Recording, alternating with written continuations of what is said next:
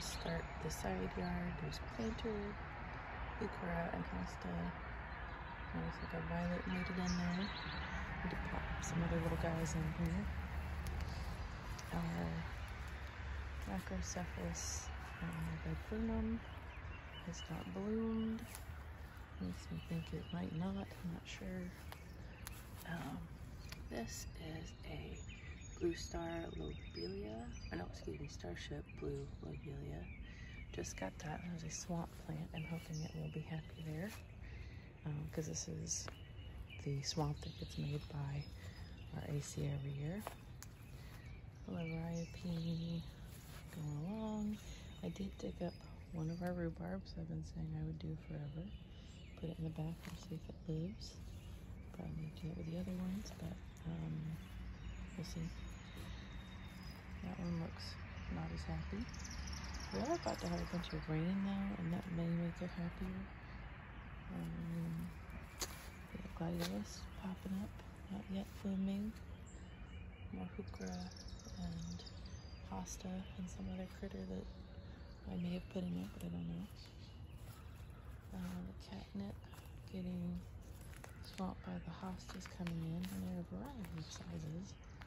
Um, I did actually finally divide this hosta and planted some up front in our sort of community space. And uh, I probably need to go water them. Wicker is coming back nicely. So there's the two tiny hostas and a giant hosta.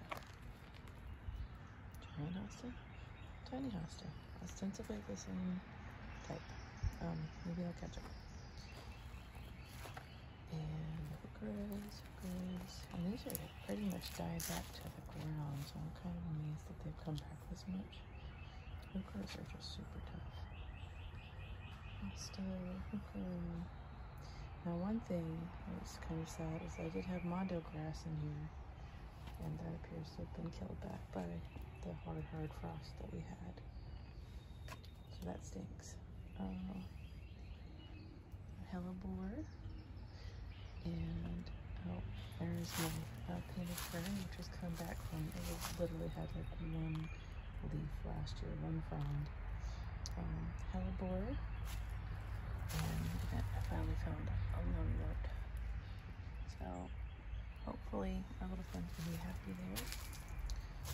And okra.